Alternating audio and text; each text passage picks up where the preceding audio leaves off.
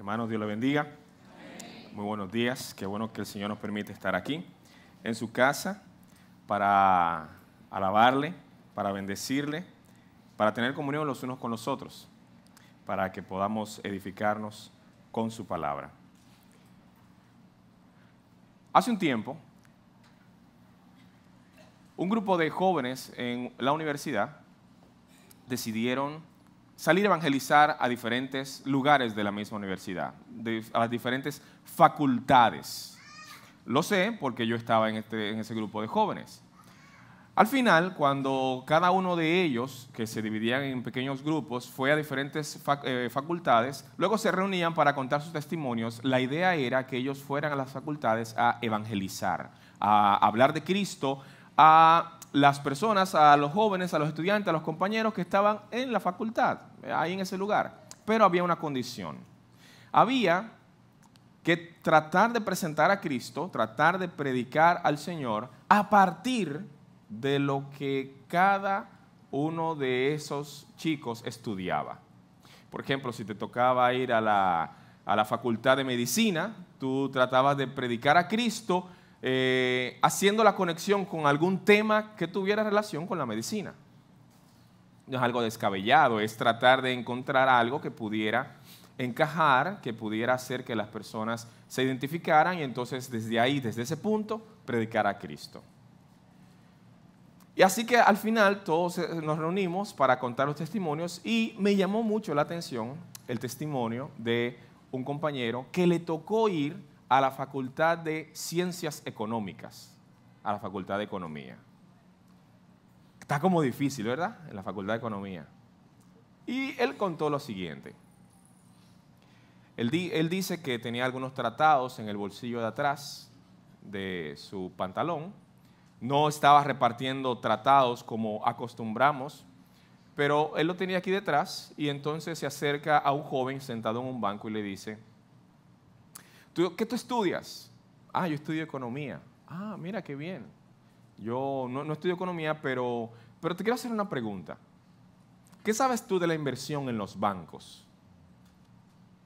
Y comienzan a hablar de inversión de los bancos y aquel chico que está estudiando eh, economía, pues realmente, según me cuentan, da un discurso, o sea, da una, una muy buena explicación y, oye, me está excelente. Y entonces el, chico, eh, el cristiano, le dice, ¿y qué, ¿y qué tú me dices de un banco que nunca pierda? De una inversión que sea muy segura, que tú puedas entrar tu dinero y sabes que no hay ningún tipo de riesgo. Él entonces respondió y dijo, siempre hay riesgos siempre hay riesgo de perder. No, no, no, pero yo estoy hablando, le, tratando de hacer la, conversación, no, no, pero yo estoy hablando de un banco que nunca pierda. Y él decía, no, no, no, eso no, no, yo creo que estás equivocado, tienes una mala información. Mira, yo que estudio economía te puedo decir que siempre hay riesgos en las inversiones. No, no, no, no, no, yo te estoy hablando de un banco que no pierda. ¿Y qué banco es ese? Pues yo quiero saber qué banco es ese. Y entonces el joven cristiano le dice, bueno, de eso te quiero hablar. Dice la Biblia que no hagáis tesoros en la tierra, sino tesoros en el cielo. Porque los tesoros en la tierra, la polilla, el óxido, la herrumbre, los corrompen. Eh, de hecho, hasta vienen ladrones y los roban. Pero los tesoros en el cielo son para siempre. La persona que no era cristiana se queda impresionada y le dice, ¿tú eres cristiano? Sí. ¿Y tú hiciste todo esto para decirme eso? Sí, lo hiciste bien. ¿Por qué les cuento esto? Porque de ese pasaje les quiero hablar esta mañana. Vayamos a Mateo. Mateo capítulo 6, versículos 19, 20 y 21. Mateo 6, capítulo 6, versículos 19, 20 y 21.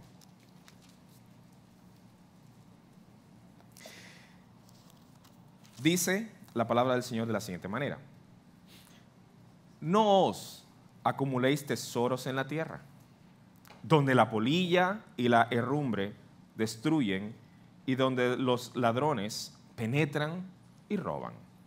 Sino, acumulaos tesoros en el cielo donde ni la polilla ni la herrumbre destruyen y donde ladrones no penetran ni roban.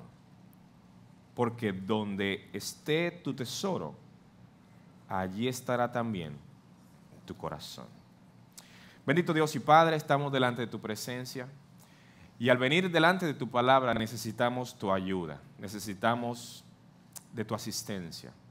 No podemos, Señor, venir al texto, simplemente leerlo y creer que vamos a entender. No, necesitamos tu ayuda. Y tú que eres el autor, revélanos lo que nos quieres decir.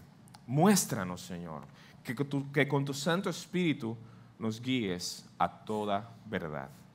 En el nombre de Jesús. Amén. No es difícil entender el texto de este pasaje, para nada. No es eh, un mensaje muy, muy, muy oculto que nosotros no podamos entender. El texto es muy claro. Eh, y siempre que vamos a hablar o estamos hablando acerca de eh, el dinero, las riquezas, los bienes materiales, siempre tenemos que aclarar que definitivamente para las escrituras no hay algo como que el dinero sea malo. En la escritura no vemos nunca una frase, oración, una, un, un final que diga el dinero es malo. No, definitivamente no. La Biblia sí condena el amor al dinero. Y dice la Biblia que el amor al dinero es la raíz de todos los males. Una, una cosa terrible. Pero no el dinero en sí, sino la, el amor al dinero es la raíz de los males. Aclarado más bien esto, entonces tenemos que ir al texto sin prejuicios. Este texto no nos está diciendo en ningún momento eh, no consigan dinero. Este texto no nos está diciendo no guarden dinero en el banco. Este texto nos está diciendo no hagan ningún tipo de inversión ni hagan negocios. No, el texto no nos está diciendo eso. El texto nos está diciendo algo más. La Biblia nos va a decir en varias ocasiones que seamos diligentes buenos administradores. Nos va a decir que nosotros debemos administrar bien, correctamente, lo que Dios nos ha dado. Todo lo que tenemos lo hemos recibido de Dios. Y nosotros somos simplemente mayordomos de aquello que hemos recibido, de aquello que tenemos. Dios creó al hombre después de haber creado el mundo completo. En el sexto día, después de haber creado los astros, las plantas, los animales, Después de haber hecho todo lo que existe, dice la escritura que en el sexto día Dios creó al hombre. Y después de crear al hombre, le dio una encomienda. Gobierna todo esto aquí. Sé un buen mayordomo. Administralo. Eh, ten la habilidad de sojuzgar la tierra. Nosotros somos mayordomos en lo que Dios nos ha dado. Aún los bienes materiales que tienes, pues es una gracia de Dios tenerlos, tienes que administrarlos bien. Yo tengo que administrarlos bien. Así que sin, sin ningún tipo de prejuicio podemos ir al pasaje porque Él no nos está diciendo que nosotros no tengamos eh, el deseo de progresar o, prosperar. Sin embargo, aunque la Biblia nos manda a la buena administración, también condena la mala administración. ¿Qué es, la, qué, es lo contrario a la diligencia? La pereza, la negligencia. ¿Y la Biblia condena eso? La Biblia condena la pereza y condena la negligencia. Mire lo que dice la Biblia de la negligencia. O mejor dicho, mire lo que dice la Biblia del negligente. Mire lo que dice la Biblia del perezoso. Algunos pasajes. Primero, la Biblia nos va a presentar, eh, y, estos pasajes son sacados del libro de Proverbios, que al perezoso le cuesta empezar. Le cuesta, le cuesta empezar. Mire, lo que dice esta porción de las Escrituras, Proverbios 6, 9 al 11. ¿Hasta cuándo, perezoso, estarás acostado? ¿Cuándo te levantarás de tu sueño? Un poco de dormir, un poco de dormitar, cruzar las manos para descansar. No ha hecho nada, pero él está cruzando las manos para descansar. Y vendrá a ti eh, como un vagabundo tu pobreza y tu necesidad, como un hombre armado. O sea, eso viene seguro. la pobreza. ¿Por qué? Porque le cuesta empezar. Él está acostado todavía, dando vueltas en la cama, estoy muy cansado. También dice la Biblia que el perezoso es una persona inquieta. ¿Por qué? Porque él tiene deseos. Su problema es que él no hace nada, pero él desea. Oh, si, ay, si yo tuviera, ay, si yo, si tal cosa, si, si yo. Eh, eh, él tiene el deseo, pero no hace nada. Mire lo que dice Proverbios 13, versículo 4. El alma del perezoso desea, pero no consigue. Pero el alma de los diligentes queda satisfecha. Mire otra cosa. El perezoso daña a los demás. Proverbios 18, 9. También el que es negligente en su trabajo es hermano del hombre que destruye. El que es negligente, el que no pone atención, el que no es buen administrador. Cuarto, el perezoso por lo general está siempre a la defensiva. El perezoso, dice la escritura en ese Proverbio 26, 16, que es más sabio ante sus propios ojos que siete que sepan aconsejar. Él siempre tiene una buena respuesta, siempre está defendiendo su causa. Cinco, el perezoso siempre renuncia. Una persona perezosa emprende algo posiblemente, quizás sale de ese dormitar, pero entonces va, lo va a dejar a medio tallo. Proverbios 12, 27, los perezosos, dice la Biblia, ni siquiera cocinan lo que han cazado, pero los diligentes aprovechan todo lo que encuentran la Biblia hablando de el perezoso. Y por último, el perezoso vive de las excusas. 22.13 de Proverbios. Dice el perezoso, hay un león afuera en la calle, no puedo salir. Si usted se identifica con alguna de estas cosas, posiblemente usted esté luchando con algún tipo de pereza o negligencia. Y tenemos que luchar, yo trato de luchar contra eso. La Biblia nos manda a ser buenos administradores. La Biblia nos, nos pide que dejemos la pereza. La Biblia nos manda, nos comanda a ser unas personas que trabajen, que progresen, que con el trabajo podamos conseguir las cosas que necesitamos, trabajando duro, firme y fuerte.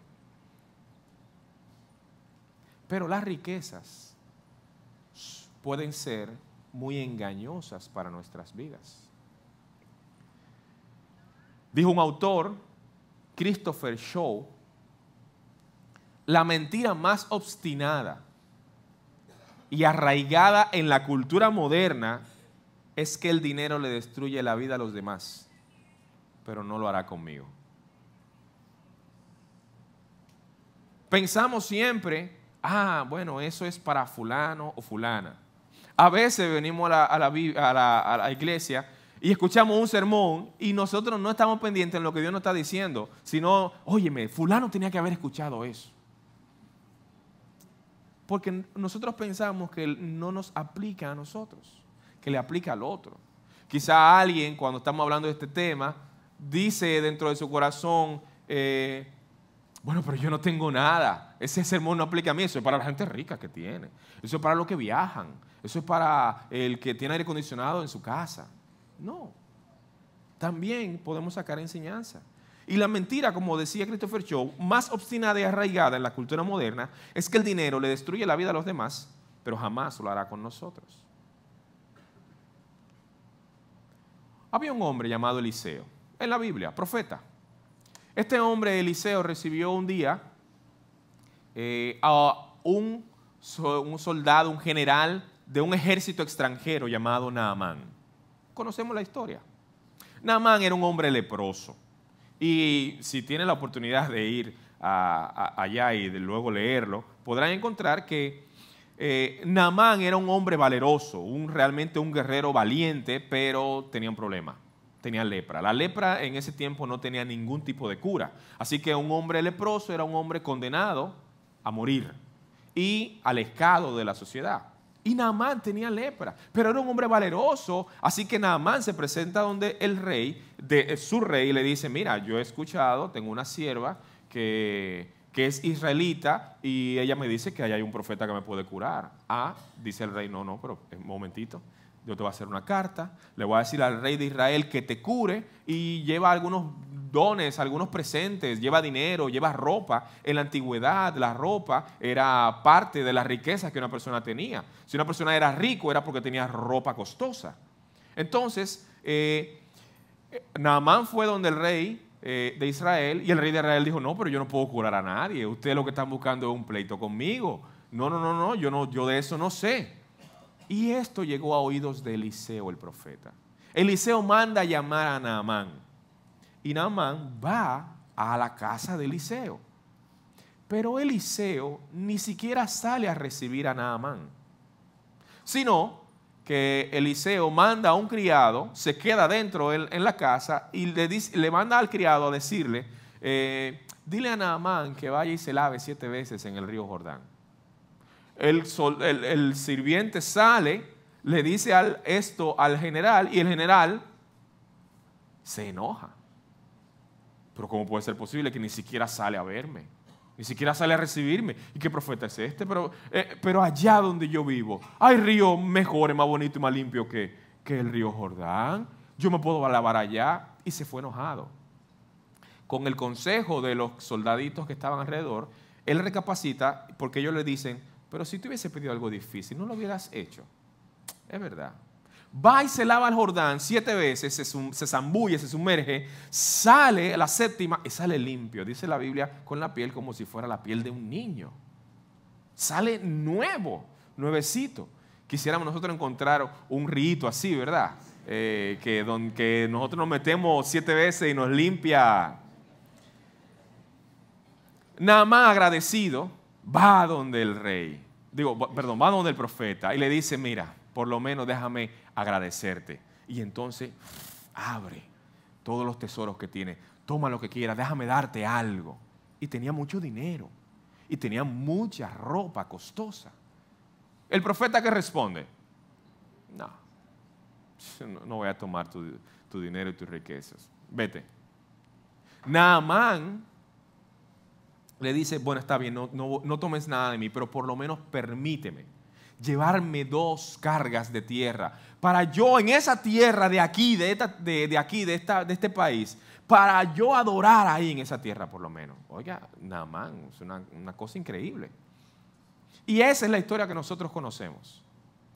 Pero puede ser que alguno no sepa cómo continúa la historia.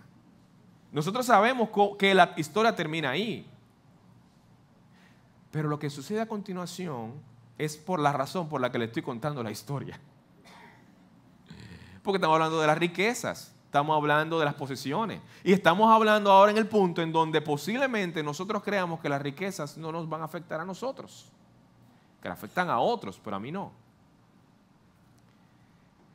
El siervo del profeta, Giesi se llama, queda encantado con los bienes, los tesoros, el dinero y la ropa que Naamán enseña.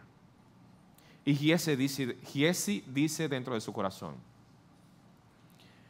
quizá Eliseo no lo coja, pero yo no voy a dejar que ese hombre se vaya sin haber dado lo que tenía en su corazón. Y le cae atrás, dice la Biblia, corriendo. Va donde Naamán, corriendo. Y nada más lo ve corriendo, se da cuenta que es el siervo de Eliseo, detiene el carro, baja del carro y le dice, ¿qué pasó? Y entonces Jesse tiene ya un argumento hecho.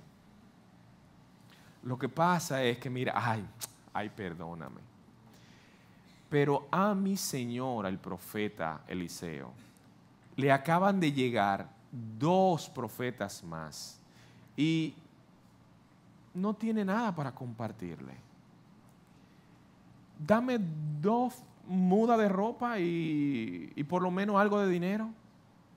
Y Naamán, agradecido, le dice, no, no, no, no, eso es muy poco, toma y le da más, toma esto. Giesi va a su casa, lo guarda y entonces viene la llamada de Eliseo. Giesi, Eliseo está llamando a su siervo, ¿dónde estabas? ¿Qué responde Giese? No, yo no he salido de aquí. Y Eliseo responde, ¿no fue mi corazón junto contigo cuando tú tomaste la ropa y el dinero del general? No estamos en tiempo de tomar dinero y ropa. Tú también tienes que tomar la lepra que se le quitó a él, también tómala tú.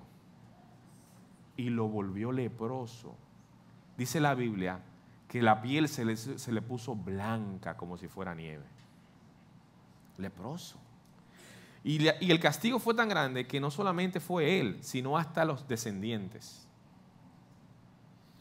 Nosotros pensamos que no va a llegar un momento en donde no tengamos tentaciones que nos puedan destruir y vencer. Nosotros tenemos que estar alerta porque cuando hablamos de temas como este, podemos pensar que es de otro que se está hablando y no de mí. Pero tenemos que comenzar a nosotros ahondar en nuestro corazón para saber si lo que se está diciendo me aplica a mí. Y leo el pasaje otra vez, Mateo 6, 19. Mira a ver si le aplica. No os acumuléis tesoros en la tierra, donde la polilla y la herrumbre destruyen y donde los ladrones penetran y roban. Sino acumulaos tesoros en el cielo, donde ni la polilla ni la herrumbre destruyen y donde los ladrones no penetran ni roban, porque donde esté vuestro tesoro, también estará vuestro corazón. Este pasaje nos está hablando de dos cosas, a mi entender. La fragilidad de las posiciones terrenales, pero también nos está hablando del valor que tienen los tesoros celestiales por encima de los terrenales. Quizás la más eficiente manera de medir el lugar que ocupa el dinero en nuestras vidas es analizar la forma en que reaccionamos cuando no lo tenemos. Quizás la más eficiente manera de medir el lugar que el dinero ocupa en mi vida es analizar cómo reacciono cuando no lo tengo. ¿Cómo reaccionamos nosotros cuando nos falta el dinero? Una pregunta seria. Medite. ¿Cómo reacciona usted? Y yo tengo que meditar. Yo, yo, meditaba mientras estudiaba este pasaje. ¿Cómo reacciono yo?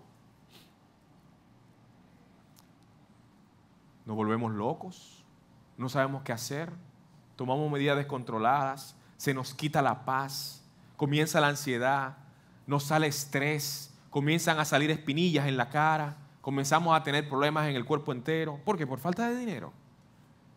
Definitivamente estamos ante un tema serio y la falta de dinero no es algo pequeño, no quiero minimizarlo. ¿Cómo reaccionas tú? ¿Cómo reacciono yo? Nos llega el afán y la ansiedad. ¿Descansamos nuestras almas en Dios cuando nos hace falta dinero? ¿Dedicamos tiempo de buscar el rostro de Dios? Y cuando estamos en abundancia, también dedicamos tiempo para buscar el rostro de Dios. Buscamos nuestras propias salidas, según nuestras fuerzas, según lo que nosotros entendemos que es más sabio. Confiamos en Dios o confiamos en nosotros? ¿Cómo reaccionamos frente a la falta de dinero? Mientras tenemos dinero, todo está bien. Todo está muy bien, hay alegría, hay felicidad, el hogar se mantiene muy bien, hoy los negocios van prosperando. ¿Cómo te va, mi hermano? Muy bien. Cuando hay falta de dinero, ¿cómo te va, mi hermano? Aquí, respirando porque el aire es gratis. Así somos de pesimistas. Así somos nosotros los humanos. Es por eso que yo creo que, si bien es cierto que este pasaje habla de los bienes terrenales, de no hacer tesoros en el cielo, simplemente, tesoros en la tierra, simplemente por hacerlos, yo creo que está hablando de algo un poco más allá. yo creo que podemos poner la piedra un poco más lejos. Lo primero es que sí, está hablando de los tesoros terrenales, lo que hay aquí en la tierra, pero quizá nos está hablando de el tesoro que tiene más valor. Quizá nos está apuntando a las cosas que realmente importan, son importantes, tienen importancia, pero también a las cosas en las que Dios quisiera que nosotros nos enfocáramos, hacia dónde inclinamos nuestra vida, hacia dónde orientamos nuestra vida. La orientación de nuestra vida no está simplemente en el vivir bien aquí y ahora, porque el aquí y ahora, como dice el pasaje, tiene polillas, tiene herrumbre, tiene óxido, tiene orín. Se acaba. Así que si enfocamos nuestra vida orientada simplemente a las posesiones, pues yo creo que estamos fallando en el blanco. Y este pasaje nos va a llevar hacia apuntar a otra cosa. Una de las cosas que nosotros tenemos que hacer cuando estudiamos las escrituras es que nosotros debemos fijarnos en el contexto. El contexto es lo que dice antes y lo que dice después. ¿En qué momento, en qué situación encajan las palabras que estoy leyendo. No es simplemente leer todo lo que estamos leyendo y utilizarlo fuera del contexto. Hay muchos ejemplos de versículos mal utilizados. Sacarlos de un contexto para que signifiquen algo que no es lo que quiere decir el, el pasaje. Así que siempre tenemos que ir a la Biblia y ver el contexto. Esta porción que estamos leyendo es parte de lo que llamamos el Sermón del Monte. El Sermón del Monte es posiblemente uno de los eh, sermones, predicaciones más largas que nuestro Señor Jesucristo hizo registradas en las Escrituras, registrado en la Biblia, y abarca en la versión de Mateo desde el capítulo 5 al versículo hasta el capítulo 7. Desde el capítulo 5 hasta el capítulo 7, Cristo está hablando un sermón, dando una exhortación, un sermón, una predicación impactante, que toca diferentes temas y diferentes tópicos.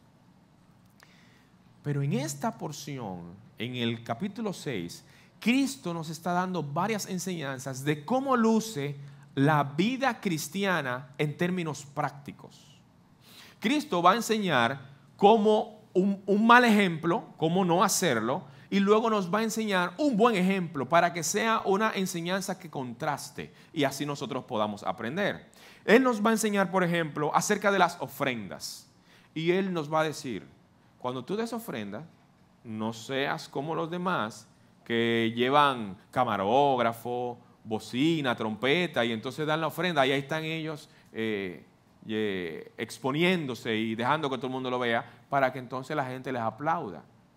De cierto os digo que ya tienen su recompensa, dice el Señor. Sino que cuando tú des ofrenda, no sepa tu mano derecha lo que hace tu mano izquierda. En pocas palabras, guárdatelo. Dalo en secreto. También va a hablar acerca de la oración. Y Cristo va a decir, cuando ustedes oren, no sean como los hipócritas que ellos aman el orar en público y hacen esas oraciones largas, con muchas frases repetitivas. No crean que porque ustedes hablen mucho van a ser escuchados. Al contrario, hagan una oración pequeña, escueta, profunda, con significado. Y les voy a dar esta oración. Y nos presenta el modelo de la oración del Padre Nuestro, que es una eh, oración que no está diseñada para que nosotros la repitiéramos como simplemente por repetirlas, sino que es una oración que nos sirve de modelo para darnos cuenta qué espera el Señor que sus hijos le comuniquen en oración. También nos va a enseñar sobre el ayuno. Esto, todo esto en el mismo capítulo 6 que estamos nosotros leyendo. Todo esto en el capítulo 6. Y del ayuno va a decir, tú cuando tú ayunes, no seas como los hipócritas porque cuando ellos ayunan, ellos ponen cara de tristeza, de que están pasando hambre. Y entonces la gente le pregunta, ¿y qué tú tienes? Estoy ayunando. Y entonces es una espiritualidad increíble. Oh, ay, está ayunando. Oh, qué hombre más espiritual. Wow, pero mira qué muchacho. Y tan joven y buen mozo que es. No, no debemos ayunar de esa manera. El ayuno debe ser, según el Señor Jesucristo, que tú ayunas y estás como que no ha pasado nada. Te bañas, te pones buena ropa, perfume, sale a la calle contento, todo bien. Y la gente no se entera de que estás ayunando. Dicho sea de paso y como un paréntesis, ¿cuántas veces practicamos nosotros el ayuno en nuestra vida espiritual? El Señor lo pone aquí como una de las disciplinas espirituales y nosotros lo hacemos muy poco. Deberíamos hacer y trabajar el ayuno todavía más. Hay personas que quizás nunca han ayunado voluntariamente, porque posiblemente nos ha tocado ayunar involuntariamente. Cerrado el paréntesis. Es en este contexto que nuestro Señor ahora dice, no hagan tesoros en, en la tierra, mejor hagan tesoros en el cielo.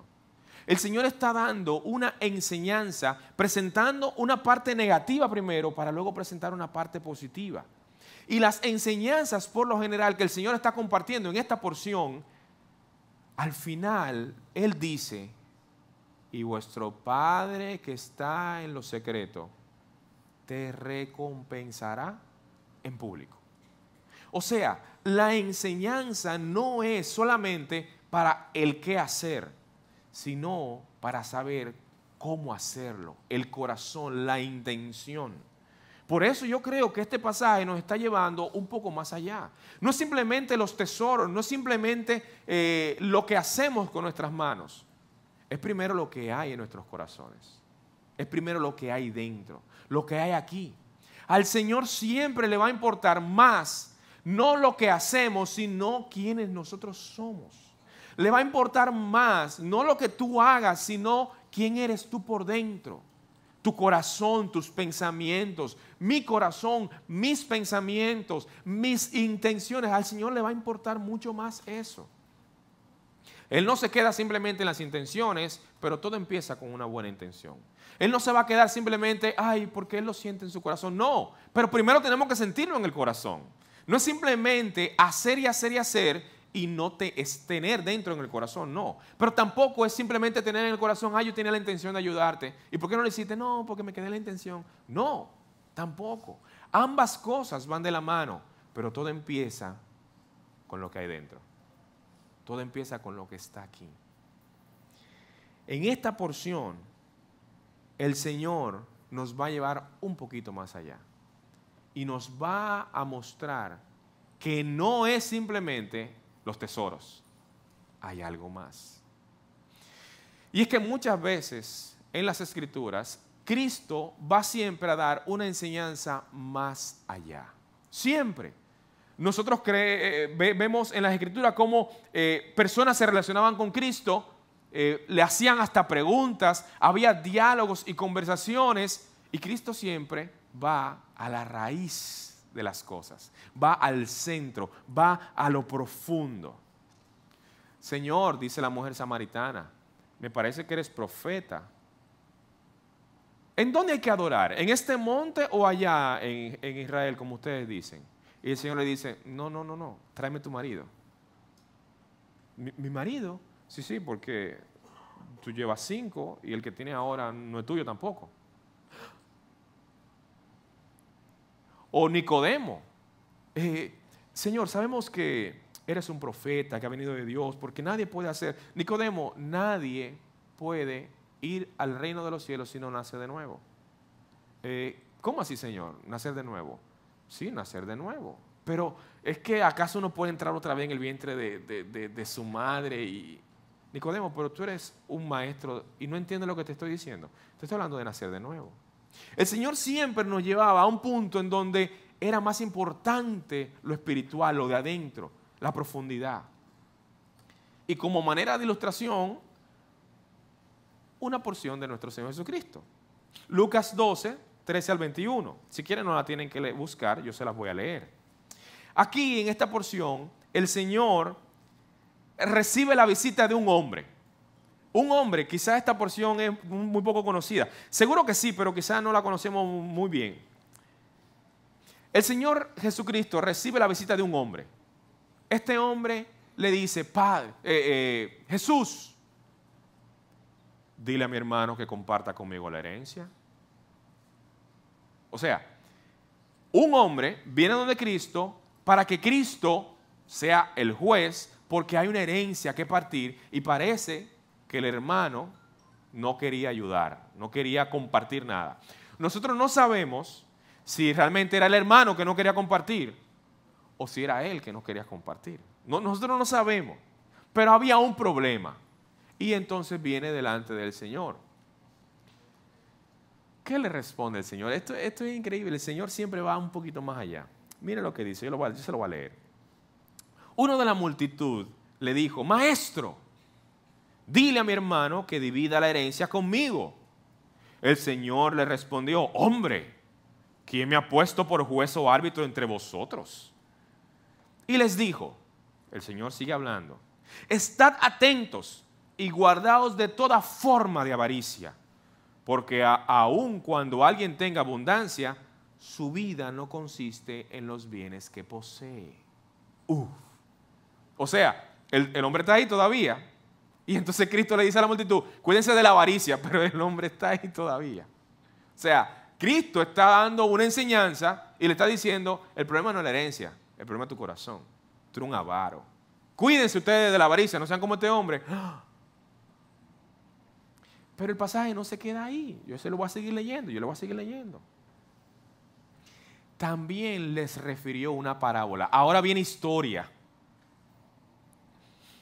Ahora viene enseñanza, diciendo, y esta, esta parábola sí que nosotros seguro la conocemos. La tierra de cierto hombre rico había producido mucho. Y pensaba dentro de sí diciendo, ¿qué haré? Ya que, tengo, ya que no tengo dónde almacenar eh, eh, mis cosechas. Entonces él dijo para sí mismo, esto haré, derribaré mis graneros y edificaré otros más, más grandes, y allí almacenaré todo mi grano y todos mis bienes.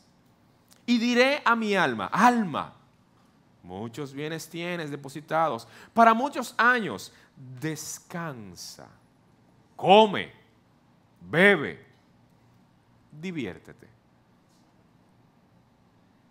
Pero Dios dijo, la historia todavía, necio, esta noche te reclaman tu alma ¿Y ahora? ¿Para quién será lo que has provisto? Cristo termina la, historia diciendo lo siguiente. Así es el que acumula tesoro para sí y no es rico para con Dios. Rico para con Dios. Rico para con Dios no significa acumular mucho para mí, porque no estamos hablando de la misma riqueza. Así es el hombre que acumula tesoro para sí y no es rico para con Dios. Hay una riqueza que sí funciona con Dios. Y no es la material, no es la de las papeletas, no es la de los bancos y las filas. No es esa. No es la del doble en Navidad. Hay otra riqueza que sí funciona con Dios. ¿Qué significa ser rico para con Dios? O que Dios no solamente tenga mis diezmos, que Dios tenga mi 100%. No solamente el diezmo, es el 100%. Que Dios no solamente tenga mis mañanas, sino que tenga todo mi día. Que Dios no solamente tenga mis domingos, que Él tenga toda mi semana, que Él tenga toda mi vida. Que Dios no solamente tenga mi simpatía. A mí me gusta, sí, me gusta mucho de la iglesia, yo voy. Ay, sí, mi familia siempre va. No. Que Él tenga mi amor. Que Dios no solamente tenga mi mente. Sí, sí, yo creo que hay un Dios. Ay, sí. Sí, sí, no, claro. ¿Y quién puede negar que haya un Dios? No. Que Él tenga mi corazón. Que Él me tenga a mí. Ser rico para con Dios es que yo haya vaciado mis bolsillos y haya dicho, Señor, yo no tengo nada, pero me entrego yo. Señor, todo lo que tengo es tuyo. Señor, ya no tengo nada más. Señor, no estoy buscando las cosas de este mundo, te estoy buscando a ti. Señor, ya no quiero que me des nada más, porque contigo es suficiente. Eso es ser rico para con Dios. Eso es habernos entregado, sumergirnos, meternos, desprendernos. Y eso es algo que todavía como humanos nos cuesta mucho. Aunque seamos creyentes, nos cuesta mucho porque nuestra naturaleza no es así. Cristo está diciendo en esta porción, no hagan tesoros en la tierra, háganlos en el cielo. Al final, al final, al final, la batalla no es por nuestro dinero, es por nuestros afectos.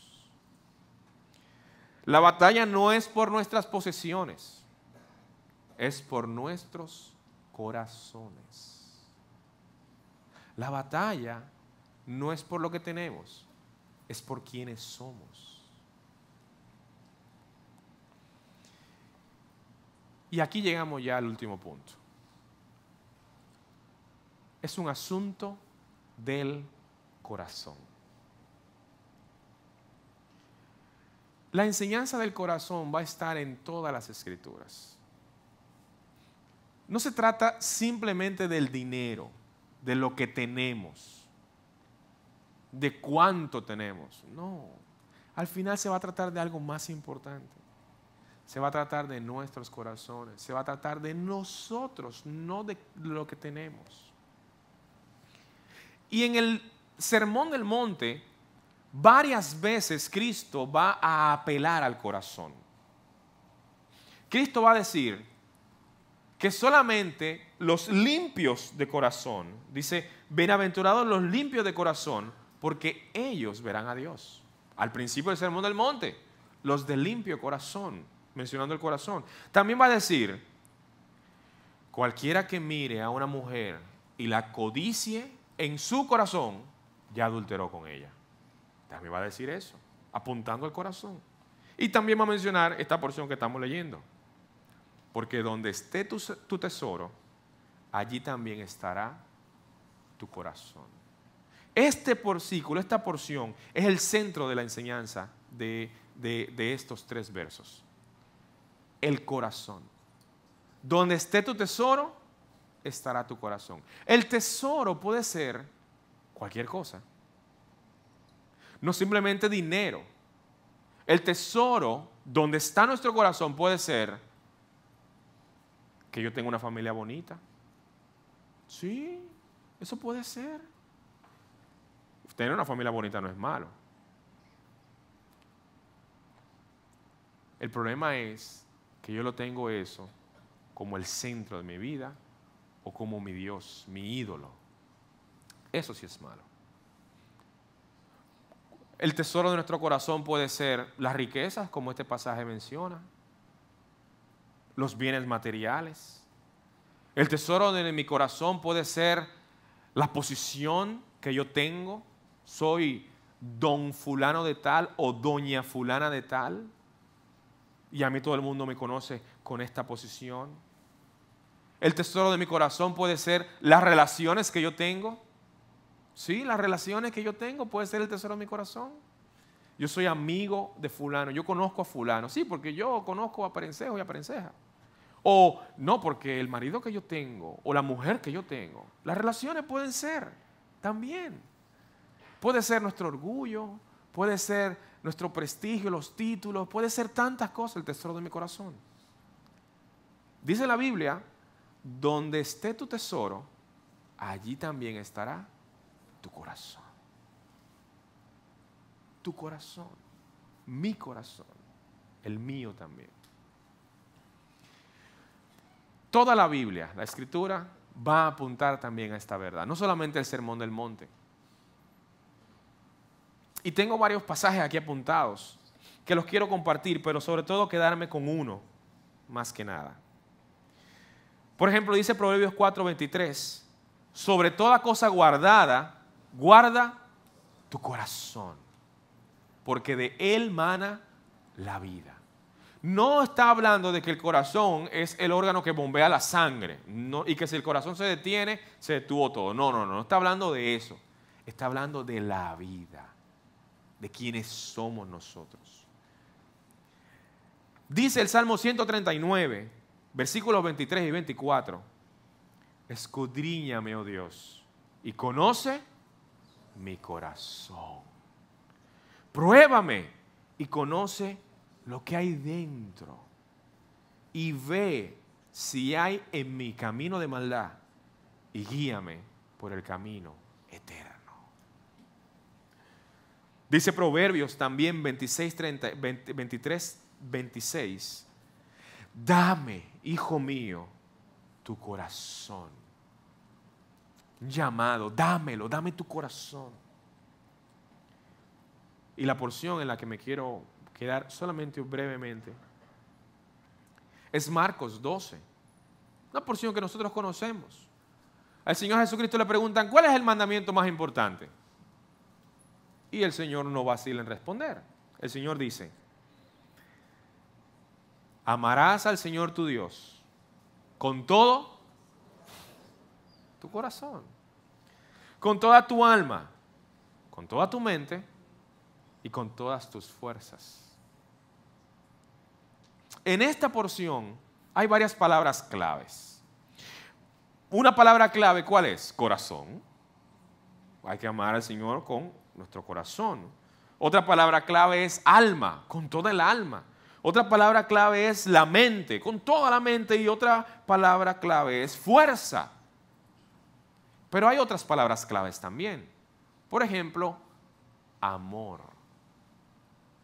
Es amar a Dios con todo tu corazón, con toda tu alma, con toda tu mente y con todas tus fuerzas. Amarlo.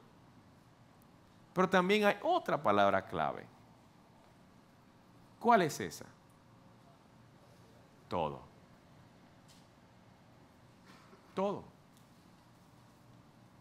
El Señor no nos está pidiendo un pedacito. El Señor no nos está llamando a darle un, pedacito bien pequeño, como decimos los dominicanos, un chin. Una palabra increíble, chiquita, cortita, y significa, eh, es, increíble la palabra chin. Yo he encontrado personas extranjeras que me dicen, la mejor palabra en República Dominicana es chin. Significa, es que eso es lo que significa, chin. Dios no está esperando de nosotros un chin. Oh no, Él quiere el pastel completo. Oh no, Él quiere todo de nosotros. Él está esperando todo. No está esperando un pedacito de tu corazón o del mío. Él está esperando todo el corazón. No está esperando un pedacito del alma o de la mente o de tus fuerzas. Las está esperando todas. Y entonces nos queda la pregunta. ¿Dónde está nuestro corazón? ¿Está aquí, en la tierra? en las cosas que perecen, en las cosas que se van a perder. Está aquí nuestro corazón en las pocas cosas que podemos adquirir mientras vivamos, porque son pocas al final. En las cosas pasajeras, que tú no sabes cuándo las vas a perder. Por más que guardes en el banco, eso se va a perder un día. No habrá muchas riquezas para las próximas generaciones en tu familia. No habrá, no habrá, no habrá. Un día se va a acabar. Y tú te afanaste tanto por eso. Los títulos universitarios a la tumba no te los podrás llevar. Un día se acabarán. Un día la gente te, simplemente te recordará con una fecha de nacimiento y una fecha de expiración. Y tu vida, ¿sabes lo que será? La rayita que los une en el medio. Todo lo que aquí está se va a perder. Todo. ¿Dónde está tu corazón? ¿Dónde está el mío? ¿En la tierra o está en los cielos? Está guardado, escondido con nuestro Señor. Está allá en su presencia, en su palabra, en su gozo. En las cosas que a Él le importan, allí también está mi corazón, porque también a mí me importan. ¿Es así? ¿Así es como respondemos nosotros a estas preguntas? Definitivamente solamente Dios y nosotros podemos dar respuestas a estas preguntas. Y nos toca dar esa respuesta. ¿Dónde está tu corazón? Si hacemos un análisis de nuestras vidas, en muchas ocasiones y en muchas áreas debemos concluir que no está el tesoro y el corazón puesto en las cosas importantes. Nos abruman las situaciones de la tierra, del aquí y del ahora. Y se nos olvida que esto es simplemente una parte del tiempo, pero no es toda nuestra vida. Más allá, cuando nuestros ojos se cierren, se abrirán a una eternidad, en donde nada de lo que tengamos aquí habrá importado, solamente una cosa, si se lo dimos todo a nuestro Señor. Oremos. Padre Santo y bendito, delante de ti estamos y damos gracias por tu palabra. Señor, que ella, y solamente ella, pueda hacer lo que nadie más puede hacer, y es poner nuestros corazones en sintonía contigo, dirigidos a ti, movidos a ti, entregados a ti. Que ese sea, Señor, nuestro sentir todos los días. En el nombre de Jesús. Amén.